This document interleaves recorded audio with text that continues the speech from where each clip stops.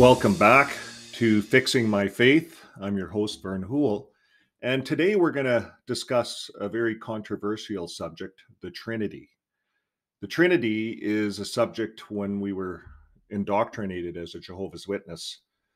Uh, was a word that uh, was associated with the Catholic Church. So, of course, the um, going back right to the beginning, Rutherford especially wanted nothing to do with the Catholic Church. So, so there's a big separation. Now, I went back on just to do a refresher last night. Uh, I looked at uh, what the JW.org says, and they were talking about Jesus, and it was right on their site. There's a small video you can watch. I don't encourage you to watch any of their stuff. It's all uh, indoctrination designed to um, to fit their their beliefs, what they want you to believe.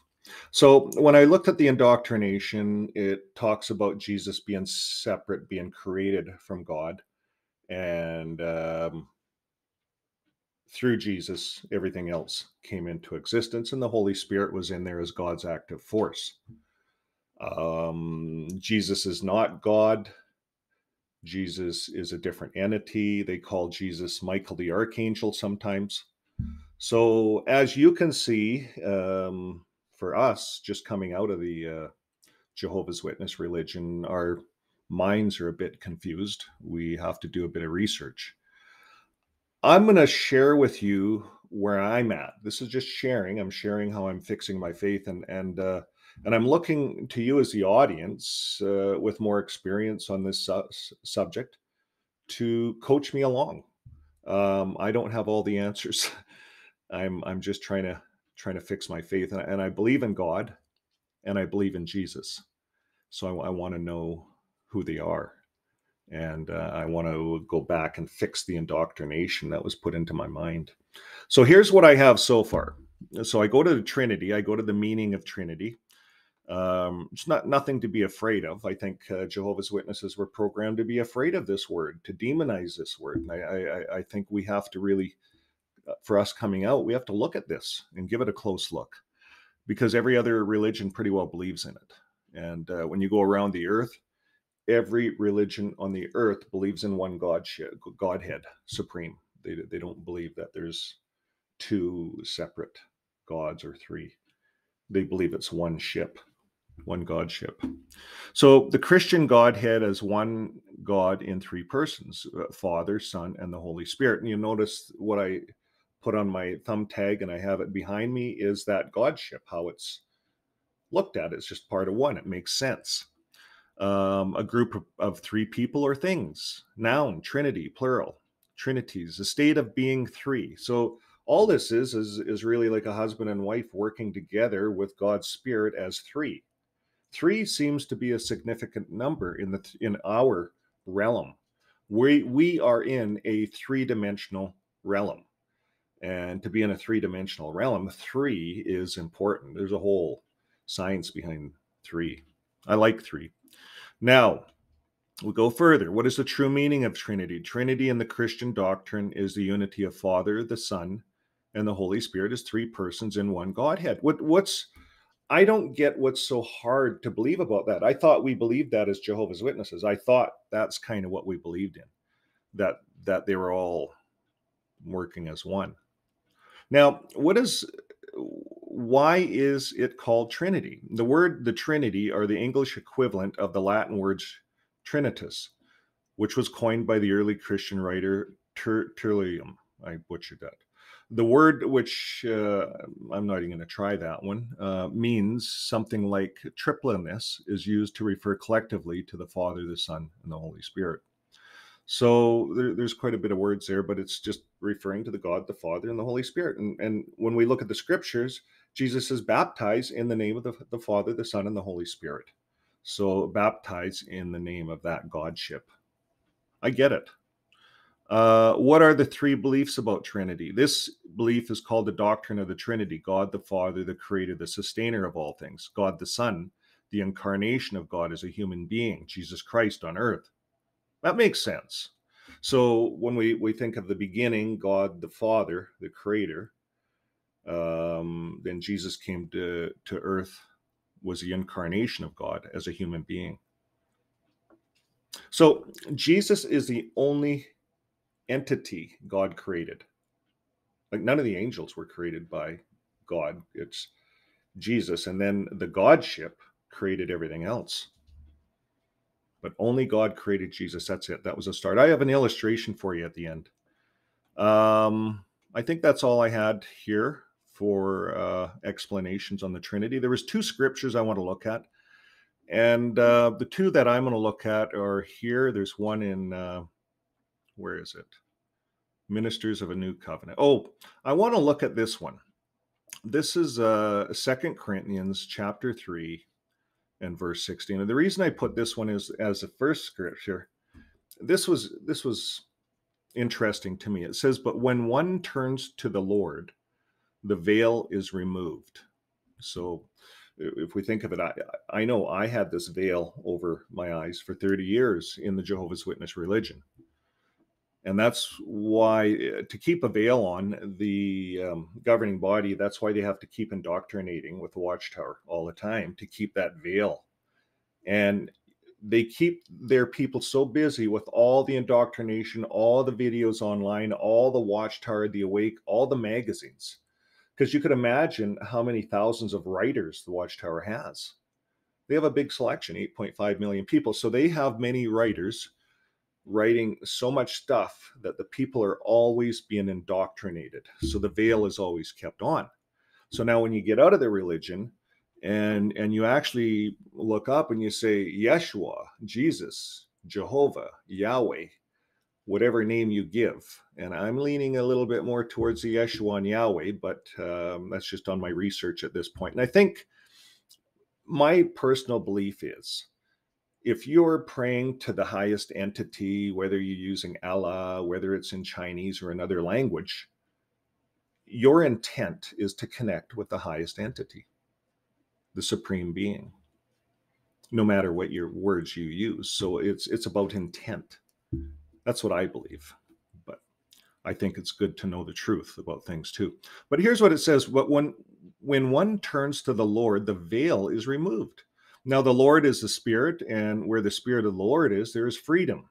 And we all, with unveiled, with an unveiled face, beholding the glory of God, are being transformed into the same image from one degree of glory to another.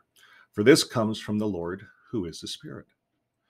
So isn't this something? So for us XJWs, we're all being transformed. This veil's being lifted as we progress in in, in unwinding all these layers from the onion that uh, that the indoctrination from the Jehovah's Witness religion put into our minds. It takes time. I thought at the beginning I could do this in a day or two, but this takes some time. For me, I, I did 30 years. I did 30 years time uh, uh in the cult and I'm a con- uh, I, I look at myself as a cult survivor, a 30 year cult survivor, 40 years actually, because I wandered around in the wilderness for 10 years with this garbage in my head, not removing it. So it's in the last six months, and this takes time to take this veil away. So I uh, I have a new respect for everyone out there that came out of this religion. I have a, a brand new respect. So this is good, this veil. And I was doing a little bit more research. Um, uh, the word apocalypse, actually, the Greek word means to lift the veil. That's what it means. I'm, I'm going to do another movie on that. Very interesting. But, anyways, let's carry on. Um, Revelation. Uh, this this is I, I threw this one in because I was I was doing some research into Revelation, and I thought, well, it'd be good to know what revelation means. So we'll do another thing on that. But this one's talking about rejoicing in heaven, Revelation 19. And I go down here and it says the beast was captured and with it the false prophet who who in its presence had done the signs by which he deceived those who had received the mark of the beast and those who worship the image. These two were thrown alive into the lake of fire that burns with sulfur. I don't know what all that means. But the reason I this came up is because of this word false prophet. So the false prophet, the governing body of Jehovah's Witnesses, um, they uh, they're they're in here and it says they're going to be thrown into this lake of fire alive. So do we take that literal? I don't know but it, it's a bad thing. I don't want to be affiliated with this false prophet. If i'm running around door to door as a jehovah's witness am i not being an angel of light? Am i not carrying and being a part of this false prophet? That's why i think this is so important to understand some of this stuff. But let's understand the deity. So here we have uh, this is uh, 1 Corinthians 8 and verse 6. Yet for us there is one God, the Father, from whom all things are, and for, for whom we exist, one Lord Jesus, uh, through whom all things and through whom we exist. So it talks about we come from God, and uh, then there's one Lord Jesus, through whom all things and through whom all things exist. So there was God, then there was Jesus, and then everything existed after after that happened. That's what I'm reading there. So I wanted to go a little bit further, and I opened this up in the um, Jewish Bible. And uh, this is where I, I, need a translator. Yet, in fact, for us, we have one deus, and, and I'm going to butcher all these words, that there is Adonai Ika, Lord is one. Hashem, Iva, you know, I don't know, one father of us all. So what I see in this Bible, it has, has more meaning. There's more depth to to understanding this godship and uh, so um you know this is the kind of coming back from the jewish or the time of jesus this is getting really close to kind of how he spoke i would like to learn a little bit more about i i don't feel i'm qualified so we may have a guest speaker in the new year that comes and talks about some of this so i've been doing research what does hashem mean in hebrew hashem um, literally, the name, often abbreviated, is a title used in Judaism to refer to God. So they they they have just to it really helps to identify who God is in in that language.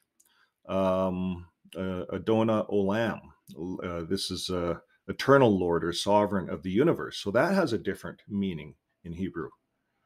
And what was this one? Shem Yeshua Meshiach. And this to me um, talks about to save, rescue, or deliver. Thus, the name Yeshua means the Lord saves or delivers. So this would be an equivalent to what uh, they they call Jesus, is what I'm I'm seeing. So we did a little video on Yeshua, and uh, Yeshua, Yeshua, please stand up. You know, we want to know who the true Yeshua is. uh, I would like to know. So then I go to this scripture, the preeminence of God. We've used this many times as a Jehovah's Witness. Colossians 1, and we would support our Jehovah's Witness belief on this scripture. so here it's talking about Christ. He is the image of the invisible God, the firstborn of all creation. For by him all things were created in heaven, on earth, visible and invisible, whether thrones, dominions, rulers, or authorities. All things were created through him and he is before all things, and in him all things hold together. He is the head of the body, the church, the beginning of everything. So this tells me that there was a, a time that Jesus didn't exist. That's what this tells me. And I'll give you an illustration at the end here. So I kind of took this a little bit further and I, I went to the Hebrew Bible. And again, there was a whole pile of words I had to learn but you can follow it along and it does make sense if you do a little work. Uh, so I was looking more at these other words. Um, and uh, please be kind to me. Like there's lots of different words that we don't see in English. So uh, it's interesting. I thought it was interesting. And uh, so then I talked about the apocalypse comes from the Greek apocalypse, uncovering. So unveiled. So when we think of uh, our eyes, our veil being lifted, that's what the the Greeks said. That's the apocalypse, or the veils being lifted. Maybe that's what's happening right now. Maybe all this veil's coming up. Well, I know as an XJW, it is big time. Uh, maybe for others out there, they've seen all this for years and years, and it's new for us. But the veil is being lifted. So that's about it on this subject for now. Um, I do have some other ones. I'm going to be talking about some of the Revelation stuff just on this channel because everyone's interested in it. And again, I'm not a um, an expert in any of this stuff. I'm trying to fix my faith and figure out what's what using just the Bible. But I thought that was interesting. The Trinity, it's it's it's something that uh, we can accept. as ex Jehovah's Witnesses. It's not scary. It's not demonized at all. It's just it's it, like the scriptures say. It's it's the three working as one Godship. So hang in. I'm going to show you my illustration here. Okay, so this um, chapter is from a book called Finding Purpose. You'll see the thumbnail behind me. It's a book I wrote uh, back in 2018. I started writing this book uh, 2016. So I left the Jehovah's organization in 2012.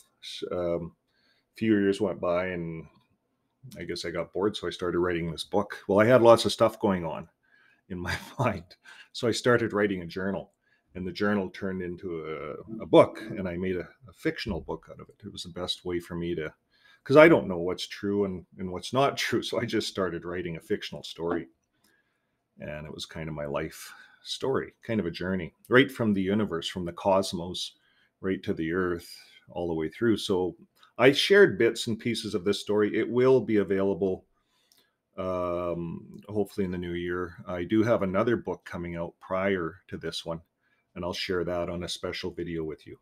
But this book I wrote and I finished it in 2018, and this chapter's talking about the dawn of the universe. Now, this book is talking about a person, fictional, um, that came from Jesus' time through a portal of time, and it was a, it was a girl called her name was Amaliah, and Amaliah in uh, the Jewish religion means something. That name it means to uh, to follow God or something, something like that. I forget. it was a few years ago I wrote it. So Amaliah started by teaching me the ABCs of one, two, three by using an apple illustration for her lesson. She explained that once a person grasps, grasps the meaning of one, two, three, then a person can see the universe. Her first lesson started with one. She took she took an apple and she polished it with a with a with a towel as she paced back and forth in the kitchen.